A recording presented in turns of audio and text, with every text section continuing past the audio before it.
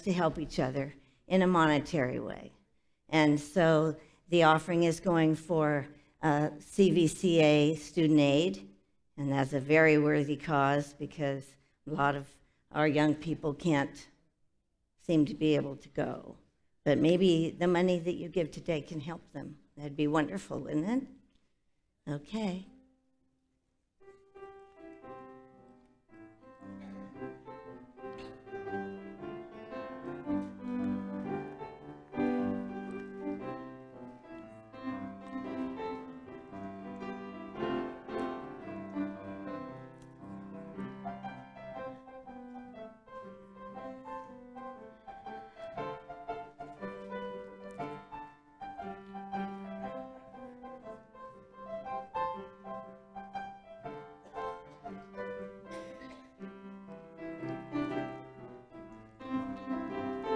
Take it.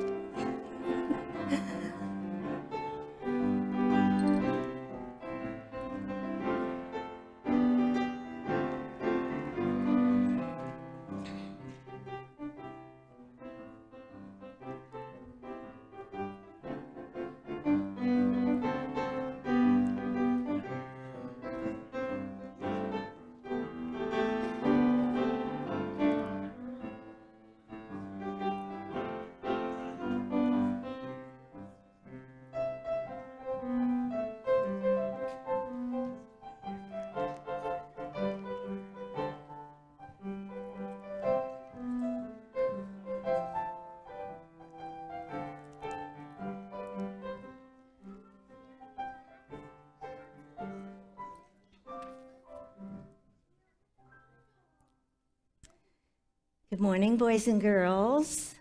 I want to ask you a question. How many of you like cats? Me too.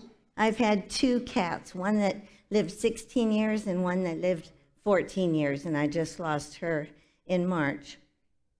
So I feel sad, yes. But the story today comes from an old book of mine. You see, it's really starting to get get torn and worn. That's the way books do. I got this book when I was nine years old, and actually, it's one of many best in children's books. And what I really liked about it is that all the titles of the stories are at the back. They're also in the front and the inside back. So I can find what I want really fast. And I wanted to find Aesop's Fables. How many of you know who Aesop was? Yes. Would you like to tell everyone who Aesop? yes, Amy. Oh, okay.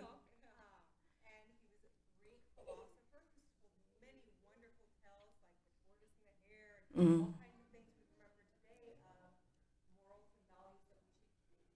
I should have come up to you. Could you hear any of that? Yes. And the reason why I chose one is because I love the fact that he tells a very short story.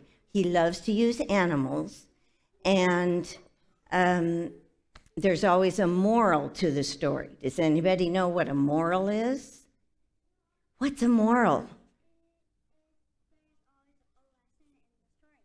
Come close to me. Stand up. Then, then you can be kind of. There's always a lesson in the story. That's right. A moral of a story is a lesson in the story. Wonderful. I didn't know anybody would know that. I'm very proud of you. Okay, so our story today is about a cat who loved to chase what? Who? Who did they love to chase? Mice. Does anybody like mice? No, I do. They're so cute, aren't they? I know we're not supposed to really like mice, but I don't I think they're one of God's creatures. So I think they're here for a reason. Yes? You want to stand up and come close to my mic? You have to come up to my face, kind of. Okay. One time sold a mouse at Dorcas and and my friend Andrew picked it up with this wooden thing, and and we took it to his mom, and he said, and his mom said for for us to put it it where in a safe place. In a safe place, that's right. Well, I have only so many minutes. I'd love to hear all of your ideas about mice, I'll tell you that. But all the mice decided, and the title of this is The Mice in Council, which means they said, we need to have a meeting because this cat is chasing us around and it's scary. We want to go home to our families and we don't want to be scared by that cat. So they decided to have a meeting, a council. And they said, you know what? We've got to do something to control this cat. And so they all decided that, as one mouse said, um, we need to get control of this cat. And so, why don't we see if I can ring it a little louder? Let's see if we can put a bell around the cat's neck. And when the cat thinks he's being quiet, he can't help it, you know. And it'll make sounds, and then we'll know. You want to ring it? Okay. we will know when the cat's around and we'll be safe. Okay, okay. All right, go sit down for me. Thank you. All right, yeah, so I used to have a bell collection and I have not near as many bells as I used to have, but this one was kind of, kind of made a good sound, if you can hear it. And so they, oh dear. Well, the mice have to help each other just like us people do. And so we put the little ribbon in there. Anyway, the idea is, can't do it right now, but let's do that until a wise old mouse said, You know, it's going to be a little hard to do it, but who's going to bell the cat?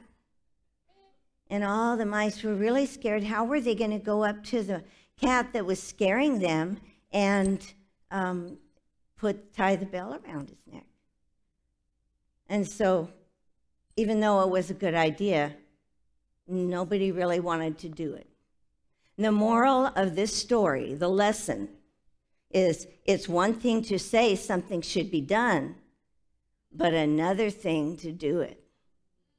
So, when you're faced with something that you know you want to help do or you want to do it by yourself or you have a suggestion but you're a little afraid remember philippians 4.13 which says i can do all things through christ who strengthens me can you repeat that with me i'm going to say a couple of words and you repeat them i can do all things that, and how does it end? How does it end?